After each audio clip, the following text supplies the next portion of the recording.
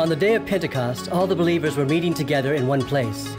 Suddenly, there was a sound from heaven like the roaring of a mighty windstorm, and it filled the house where they were sitting. Then, what looked like flames or tongues of fire appeared and settled on each of them. And everyone present was filled with the Holy Spirit and began speaking in other languages as the Holy Spirit gave them this ability. At that time, there were devout Jews from every nation living in Jerusalem, and when they heard the loud noise, everyone came running. They were bewildered to hear their own languages being spoken by the believers. They were completely amazed. How can this be? They exclaimed. These people are all from Galilee, and yet we hear them speaking in our own native languages, and we all hear these people speaking in our own languages about the wonderful things God has done. They stood there, amazed and perplexed. What can this mean? They asked each other. But others in the crowd ridiculed them, saying, They're just drunk, that's all.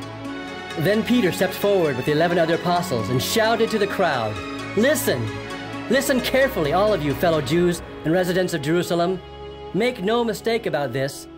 These people are not drunk as some of you are assuming. Nine o'clock in the morning is much too early for that. No, what you see was predicted long ago by the prophet Joel.